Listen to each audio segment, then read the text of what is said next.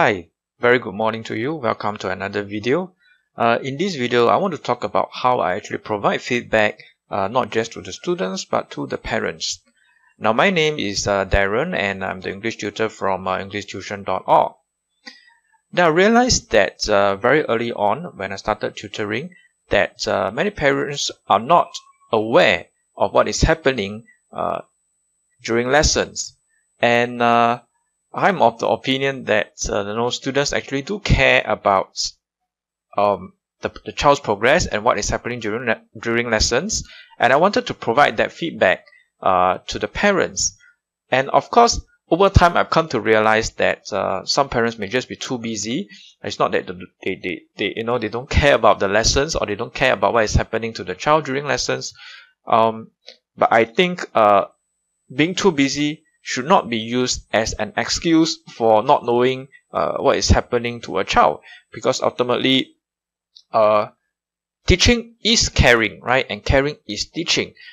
Uh, the child needs to feel that somebody is there to, to care about uh, his or her future and to care about uh, his or her life. And then they will be more motivated to want to you know uh, complete the homework. Because why should a child want to complete the homework if nobody cares, right? If everyone doesn't care, the child can observe what is happening around him or her, and he's not going to care about his own, own work as well. So the, as a result, the the uh, the uh, quality of the uh, homework will suffer, right? Because uh, um, the, uh, their thinking is that you know why should I even bother to put in the effort in the first place since uh, nobody care, and uh, so uh, coming from that, I wanted to come up with a way that I can provide some feedback to the parents uh, because the parents are not around when I'm conducting the lessons, right? So most of the time I just see the kids. I don't even get to see the parents, right? Especially for the older kids, they come for lessons on their own.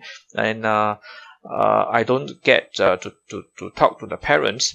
And uh, I, I wanted to have a way, okay, to not to of course I can message or call the parent to provide the feedback, right? But I, I don't want the feedback to be uh, so intrusive, right? That uh, every lesson, you know, I have to provide this feedback uh, to the parents. So what I did was to come up with uh, a grading system that uh, for every lesson I have to uh, I make myself grade the child on three aspects, right? First is the homework. So if the child comes back and the homework is done, uh, to perfection, right? Uh, maybe one or two mistakes here and there, but you can see that the child really put in a lot of effort into their homework, then they will get a perfect score. So if they just uh, manage to you know complete the homework, but still not to uh, satisfaction, then maybe they just get an average score. Or if they come back and the homework is incomplete, or if they did not do homework at all, then they will get a very poor grade. Uh, the other aspect that I have on the grading sheet is uh, their engagement because I always think that um, active learning is more effective than passive learning. Now there have been tons of research on that and uh, I'm a firm believer that uh, that's the way it works and it makes a lot of sense to me. I'll cover that uh, in another video and uh, I do not want students to come to the lessons and then just sit there passively and listen to me talk and not having to do anything, right? So that will um, you know not help them you know to develop their thinking. And uh, i want them to be able to actively work on exercises so that they are the ones who are uh, you know developing and they are the ones making the improvements right? Not me. I don't need to practice and make the improvements. I am there to show them right? To demonstrate to them this should be the approach that um, you should take. These are the steps and uh, to explain to them uh, how they can uh, cope with the exercises. So if uh, they come for the lessons and during the lesson they ask a lot of questions, then they will get a very good grade. But the questions that they ask, right, have to stem from a genuine intent to want to learn more. And it should not be, you know, out of uh, the, the fact that they are getting a poor grade for their engagement and therefore just to so so as to bump up their grades they just uh, you know ask some patronizing questions that should not be the way so for patronizing questions no marks, right? So they will still get a low mark if they just you know ask questions for the sake of asking and not for the sake of learning. And the last and final aspect that I grade the student is uh, on their attentiveness, right? um, because I know some students they they come to lessons and then they daydream or you know the worst case scenario they even sleep so uh, I think parents do need to know what their child is doing in class. Because if they exhibit this type of behavior during my lessons then in all likelihood they may exhibit very similar behavior when they're attending lessons elsewhere like in school or other tuition lessons right? So if the child has this common problem and uh, the parent is aware then the parents can take action right to try and modify and try to you know help the child adjust and change this behavior right from a negative behavior to a more positive behavior, right? But uh, if there's no feedback, then there's no chance the parent doesn't know. The parent thought, oh, my child is attending tuition and that's uh, spending his time uh, productively, so I'm expecting to see an improvement in grades. But that's not the case because the child come for lessons and then the child is not exactly paying attention in class. So uh, I think this feedback is very useful. Um, but uh, going forward, I want to uh, make even more changes uh, to this approach because uh, like I mentioned earlier, some parents simply just don't have the time to monitor the progress of their child.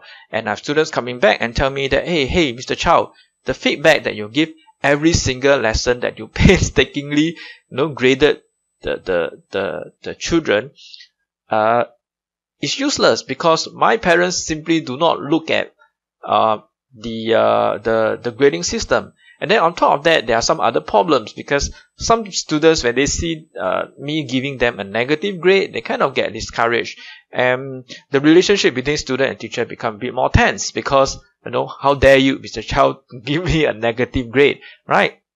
And then, uh, kids being kids, uh, if they think that they are, you know, in some kind of possible trouble, right, they may try to, you know, hide the grading sheet from their parents, and that kind of defeats the purpose of having the grading sheet in the first place.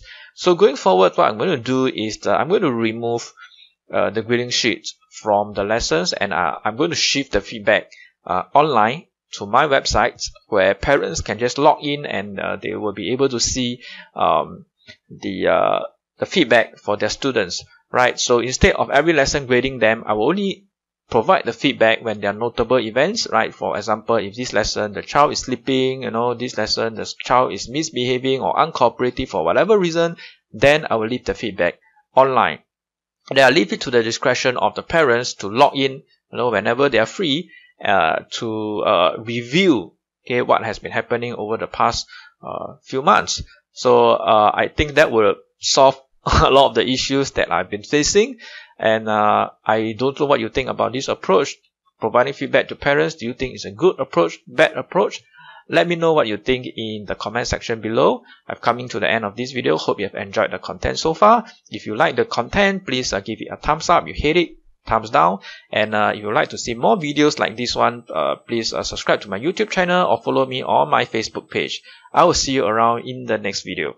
Bye.